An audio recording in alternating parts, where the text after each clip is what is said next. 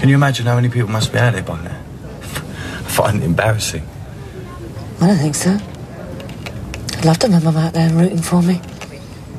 Rosa is like a proper mum. How do you mean? Well, she's always there for you, isn't she? I mean, tells you what cares about you. No matter how horrible you all are at times. Yeah, but she can be harsh herself, you know. It's not all one way. No, that's part of it, isn't it? She'll have a go at you if you're out of order. It's only because she cares about you, wants you to do the right thing.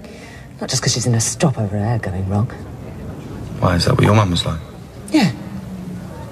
She's pretty rubbish at it, really. Motherhood. She doesn't cut out for it, I suppose. Yeah, still. She shouldn't have taken it out on you, though.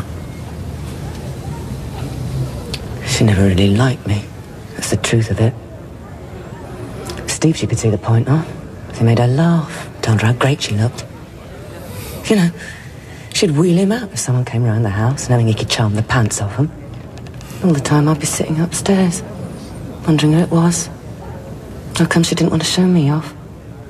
She must have loved you, though. See, you think that because you've got a proper mum, one who knows how to do it. It doesn't always work that way. What do you think she didn't like about you? I wasn't like her. I wasn't pretty or cute or giggly or any of that girly stuff, you know, a woman was supposed to be. She wanted someone she could discuss handbags and lipstick with. Not this plain Jane who was into U-shaped glaciated valleys. God blimey, I remember those. And they really were boring. Not to me.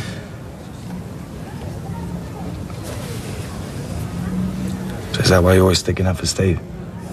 Because mum was so useless. He'd look out for me too, though. Though I was older.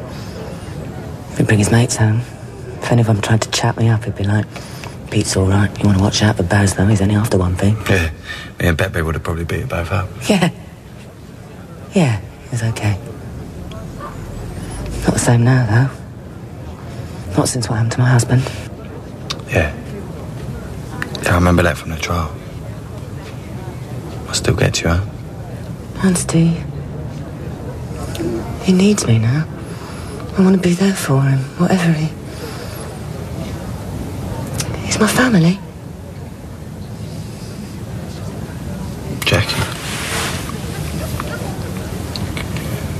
Do you think Steve killed Saskia?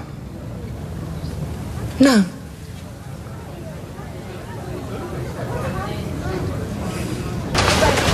First right, Doc. Excuse me, let me through. Is my sister in there? Yeah, the police are just in the house. Jack! Jackie, can you hear me? It's Steve. Yeah, You're right. my leg's stuck. Can't feel it. Are the fire brigade here yet? Yeah, they're out here now. Look, don't worry. We're going to have you I'm sorry, sir. I'm going to have to ask you to move back. Just don't worry. Back, sir. Please. My sister is in there. Steve, come on. Just, just let him get on with it, yeah?